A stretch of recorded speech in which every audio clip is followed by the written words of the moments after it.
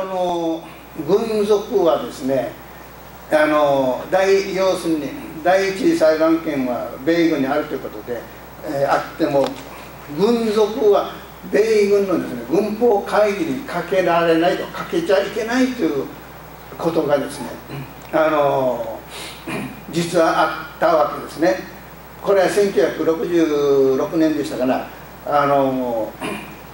米国連邦最高裁判所とでですね平時における軍属に対しては軍法会議を は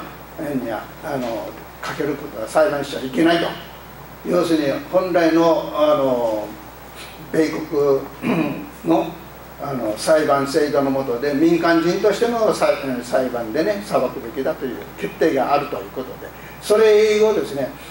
ずっとあの軍属に対しての、うん、犯罪は軍法会議にかけてないんですね。そのことはですねあの日米両政府はですねあのちゃんと知ってるわけですね。そしてこの軍属が、えー、対しては結局あの米国に送ってそこで裁判にかけてるわけでもないと。いうことでそういう行政処分で無罪放免してるという実態が明らかになったわけですよ。もう10年になりますかね10年前の事件でもですねそういう事件がありましてそれをあの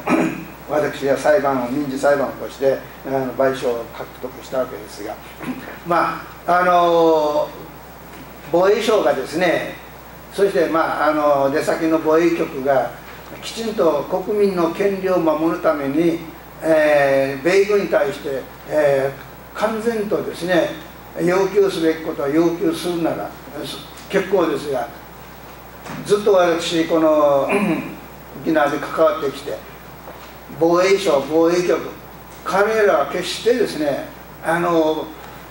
国民の権利を守ろうとしないんですね。もう最大限アメリカの便宜にかなうようなそういうアメリカのもう出先機関そういうやり方をするわけです。これからだから安倍がやろうとしてることがねまさにそれだと思いますよ自衛隊員がねああいうことをも今でもあの元次ですか沖縄出身のですね自衛隊員が北海道であの闘技訓練中に死亡した事件で遺族が訴えてあの民事賠償ですがね自衛隊の責任を認めて賠償命令出たんですがね。あの自衛隊もあの戦争のできる国というのはまさに自衛隊がそういう今アメリカ人がですね世界中やってるああいうの民間人も差別なくえー、殺していくという戦争そのものできる自衛隊に作り上げようというのが 安倍、えー、総理のですね、えー、思いじゃないですか美しい日本を作るためには自衛隊で人殺しにならんということになるわけですよね。